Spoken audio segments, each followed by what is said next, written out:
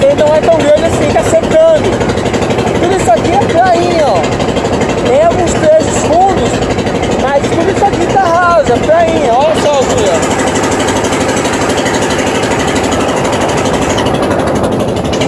Tudo isso aqui tem um metro mais ou menos, até o bairro tá ruim de passar, então sei lá se é feito na natureza, se é o rio que é assim mesmo, mas tá bem raso, bem raso mesmo.